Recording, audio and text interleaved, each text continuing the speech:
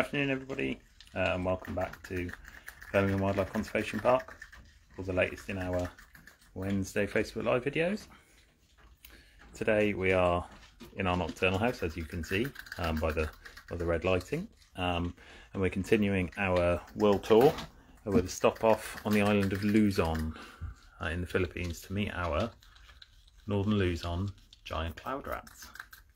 Very appropriate name. Um, which we'll get to in a moment.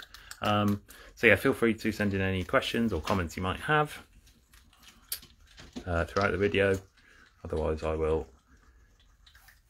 just carry on um, talking to you about these guys. Right then, so yeah, uh, like I say, these guys are from um, the island of Luzon, which is one of the islands that makes up the Philippines. Um, and as their name suggests, they are from the north of Luzon. Um, yeah, the full name for the full kind of common name for these guys is Northern Luzon Giant Cloud Rat, um, but we just generally call them the cloud rats. Hi Mary, hi Penny, hope you're all okay. So yeah, like I said, these guys are found on uh, in the north of Luzon. Um, they're also found kind of in the central areas as well. Um, there is one other species in their the genus that, that these guys are in. Um, and very imaginatively, it is the southern Luzon giant cloud rat. Um, and it inhabits the, the, southern half of the island. Um, there is a little bit of a crossover between the two species in Luzon, uh, in that kind of central belt.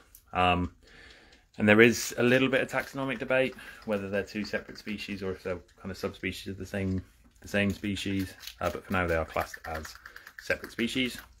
Um, I believe the, the southern species are a little bit smaller than these guys. Um, and these guys kind of from kind of nose to nose to tail are um, can get up to around about 75 centimeters long. Um, so they are definitely very large rats. Hence the name uh, giant cloud rat.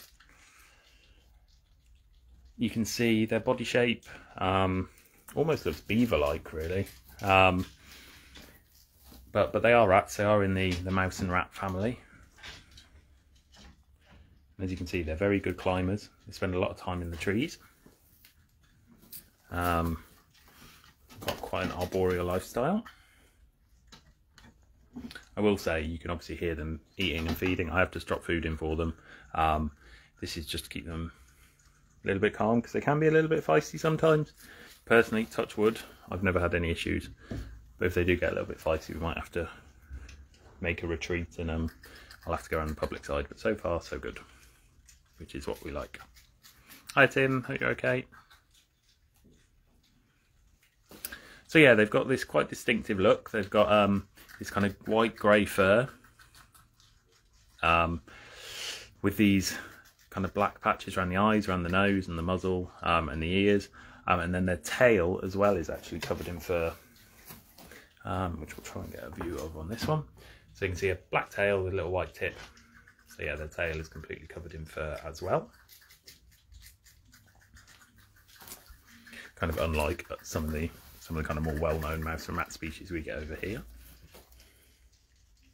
They do have a bit of a kind of panda appearance with the um, the markings on the face.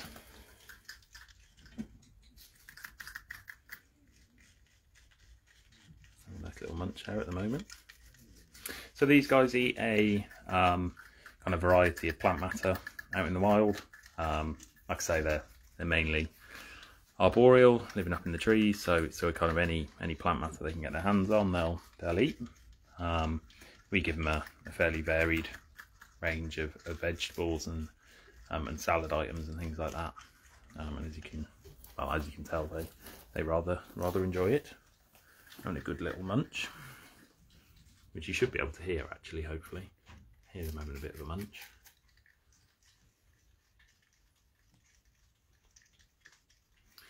So these guys are um, found in forests. Um, they can be found up to quite high altitudes, which is I think where they get the name cloud rats. Um, being found in, in cloud forests as they are known.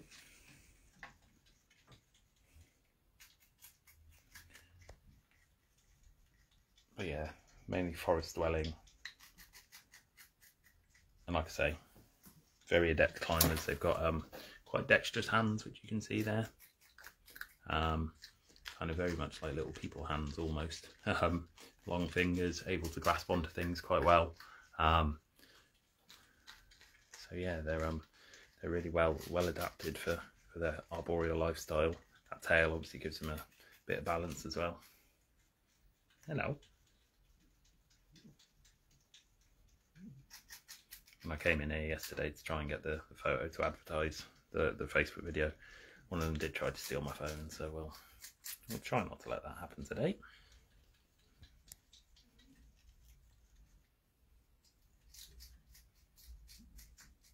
So in here we've got um, three females.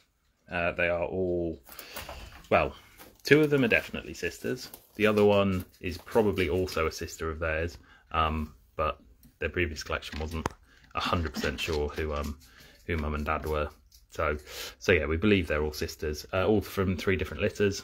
Um, so our oldest is uh, coming up to four years old. Uh, the other two are uh, kind of six months back, um, and then six months back again. So, so we've got you know a three-year-old and a couple of two-year-olds at the moment. Like I said, they're all sisters, all girls. Um, they came to us from Chester Zoo, and they've nearly been here for um, two years now. They arrived at the end of March 2021. Um, so yeah, they've they've been here for a little while now.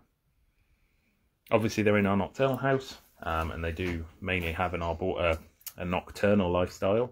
Um, generally sleeping throughout the day, and then they um, and then they come out at night to go foraging. It's just a lot safer for them to, to come out at night. There's obviously lots of predators and things like that over in in their normal natural home. And yeah, they are actually classed as part of the rat family, Tim.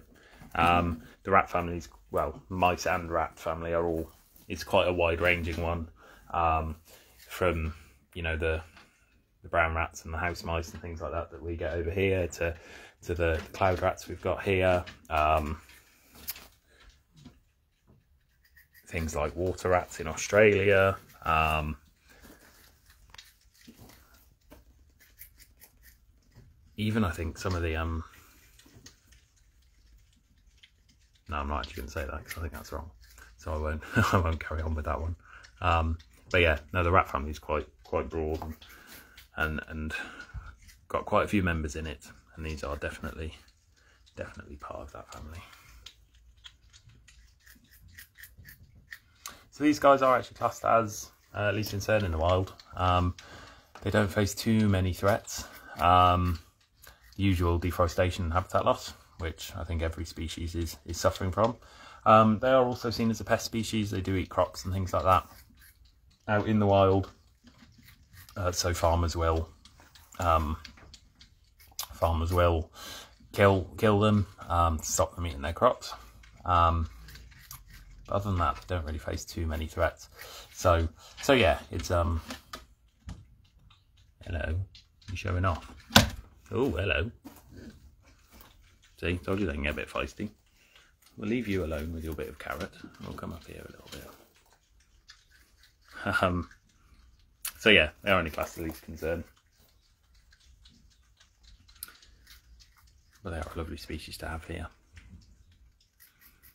They're doing quite well in captivity now. Um, I've seen a number of collections starting to go into these guys um, and successful breeding and things like that as well um, at a number of other UK collections.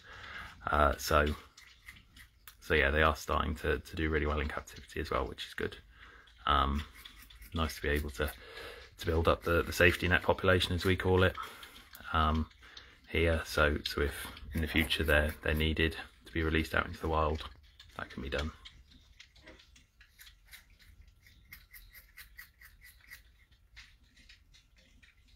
They can get quite weighty as well. Like I say, the length can be up to about 75 centimetres nose to tail. Um, they can weigh up to a couple of kilos as well, so they are definitely hefty little rats. Well, big rats, I should say.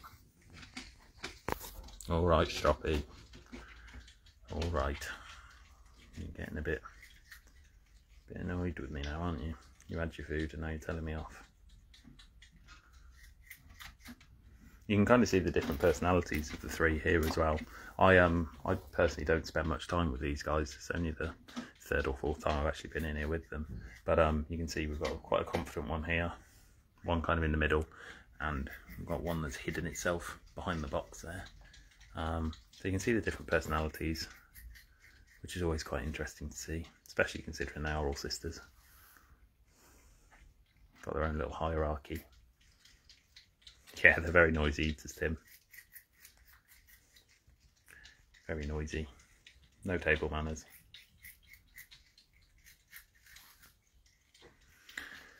Right then, guys, feel free to send in any last minute questions that you've got. Um, otherwise, we will leave them to it because, like I say, I think I am outstaying my welcome slightly.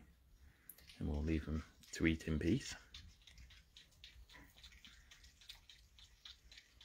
Next stop on the tour uh, for next week, um, well, I think we're going back to the reptile house and we'll probably have a look at our mangrove snake, I do believe is the, the next one on the list. Um, going back towards um, not mainland Southeast Asia, but um, but yeah, kind of the southern tip of, of Southeast Asia. Um, we've kind of taken a bit of a detour northwards to the, the Philippine Islands um, this week, and then we'll kind of loop back down and round for the to the main area of, of Southeast Asia for next week. although we may have thinking about it, we may have to have a little rethink. It's half term next week, so the reptile house may be quite busy. So maybe we'll do one of the other ones first and then come back to the mangrove snake. We'll see. We'll work it out for next week. We will work it out for next week.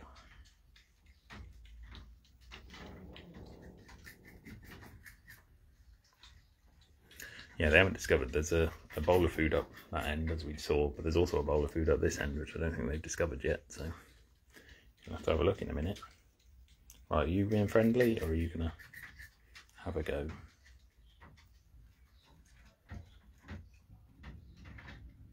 Bless them. They are lovely. Right then guys, I think we will call it a day there. Um, so thank you for tuning in to the latest stop on our world tour. Um, and yeah, we will be back same time, same place next week. Cheers, guys.